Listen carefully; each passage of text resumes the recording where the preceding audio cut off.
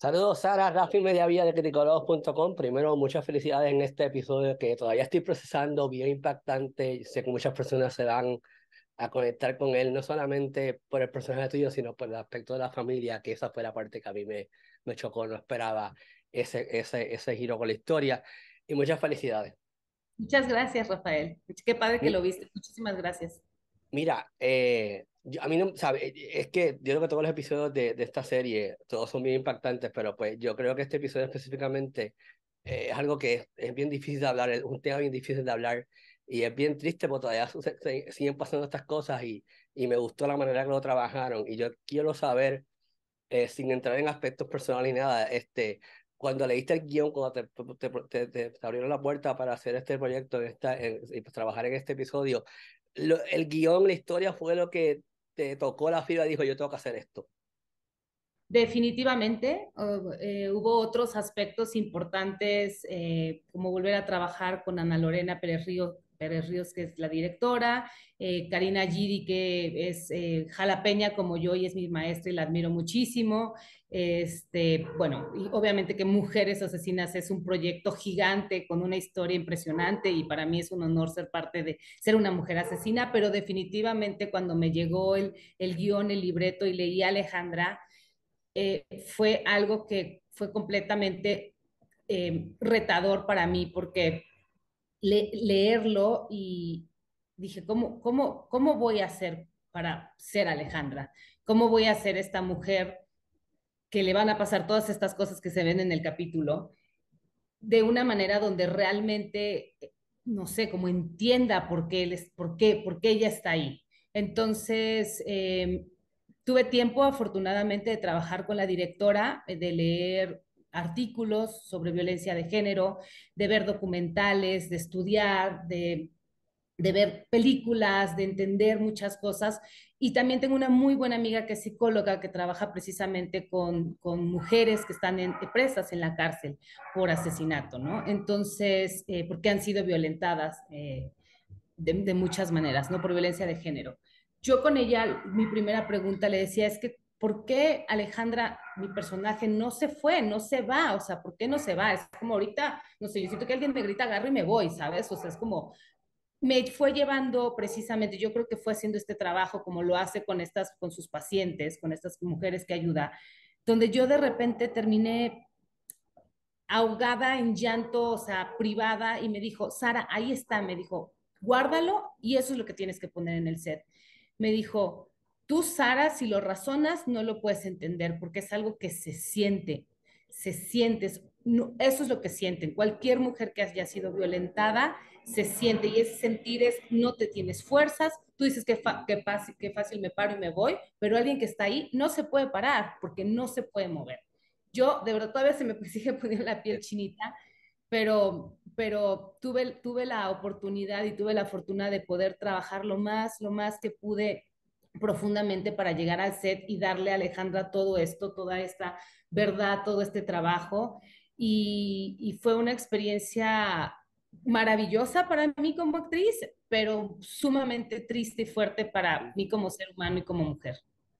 Te entiendo completamente y voy, voy, a, voy a hacer otra pregunta, esta pregunta es de dos partes porque como expliqué, el aspecto de la familia no me lo esperaba que estuviera tan marcado, pero también obviamente el experto de, Sara, de, de, de, Alejandra, lo que pasó por la historia.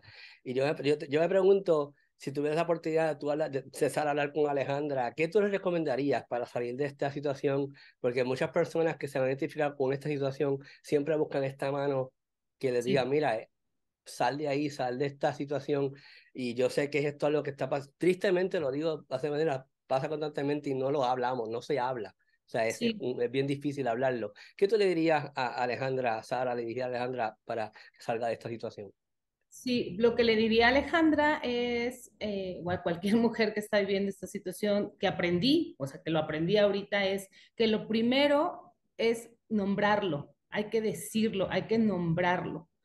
Eso es lo más importante, lo primero que se debe hacer. Después de nombrarlo, ya puedes empezar como a buscar ayuda. Una vez que lo dices, eh, se sienten muchas cosas, se siente culpa, se siente vergüenza, se siente, eh, te sientes aislada, sientes como que nadie te va a entender, pero no es verdad. Si hay afuera muchos grupos de ayuda que, que, que, están ahí para las mujeres o para cualquier ser humano que se haya que sea violentado, ¿no? En este caso estamos hablando de Alejandra y es mujer, pero sí hay. Entonces lo primero es decirlo. Eso es lo más importante. Y de ahí ya vas eh, siguiendo los otros pasos. El otro, la otra parte de la pregunta es la familia. Cuando la familia también está envuelta en, en esta, en esta situación de abuso, eh, eh, añade otro nivel de dificultad para poder entrar en esta conversación. Y yo, a mí me encantó cómo la manejaron en el episodio, fue bien humanamente trabajado y me gustó ese aspecto, pero es bien difícil de igual tocar este tema. Eh, esta persona, o sea, tú, eres un tercero, tú no eres parte de la familia, e, estás sintiendo este mismo abuso, estás viendo el abuso de la persona hacia la familia también.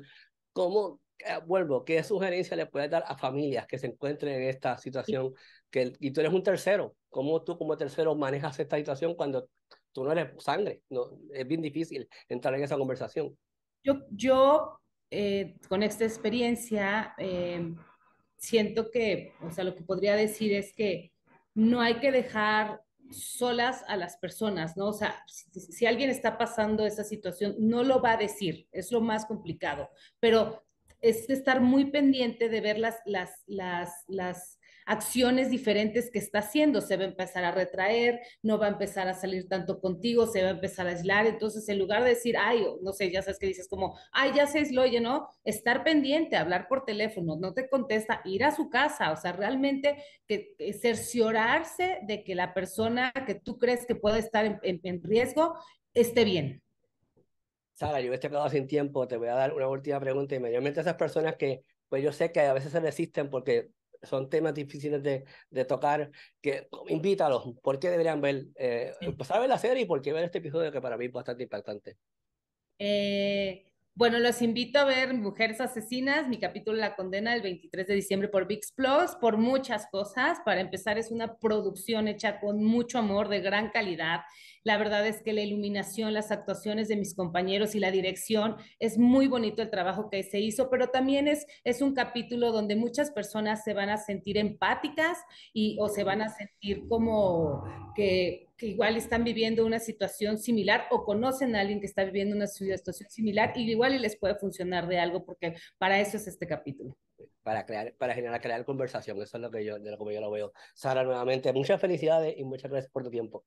Muchas gracias.